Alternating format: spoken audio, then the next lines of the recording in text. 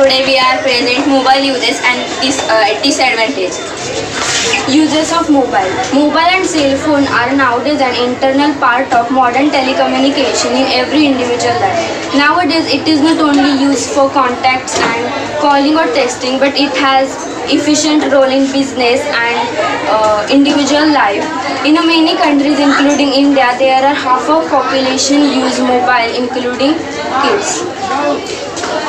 Major cause of major cause of accidents. Using cell phones using cell phones while driving using cell phones while driving leads to leads to loss of life.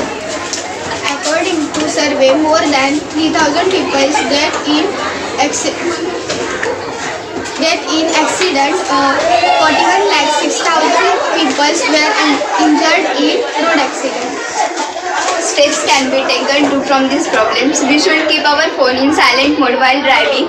Uh, if there is any emergency, so we can use Bluetooth or uh, headphones uh, device we can use for speaking and uh, they conclude this uh, conclude these uh, devices for we can use any emergency or any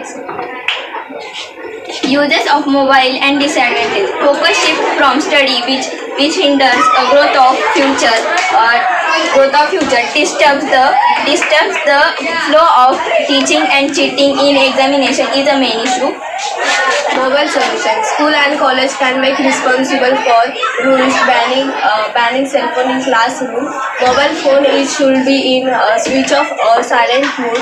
Parents should uh, parents should also understand and in care of emergency, uh, then should contact the office people. Thank you.